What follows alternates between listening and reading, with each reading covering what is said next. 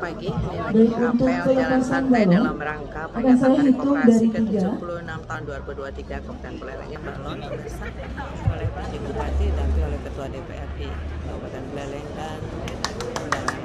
Bapak Ibu sekalian semuanya yang kami hormati dan berbahagia Izinkan kami bersama Ketua DPRD Kabupaten Buleleng untuk melepas jalan santai yang ditandai dengan pelepasan balon ke udara.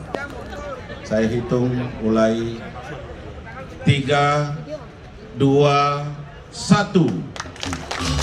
Baik, beri tepuk tangan yang meriah dengan pelepasan balon tersebut. Maka secara resmi kita merayakan Hari Koperasi Indonesia yang ke-76. Baik, mohon izin Bapak untuk dapat kembali ke tempat.